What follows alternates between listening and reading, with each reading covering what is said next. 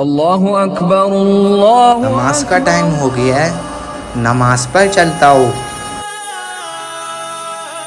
अबे ओ नमाजी मेरे पास आ जा। मैं तुझे ऐसे की ठंडी ठंडी हवा भी दूँगा।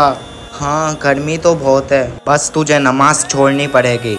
नहीं मुझे तुम्हारा ये ऐसी नहीं चाहिए। मैं नमाज़ पढ़ूँगा। जा।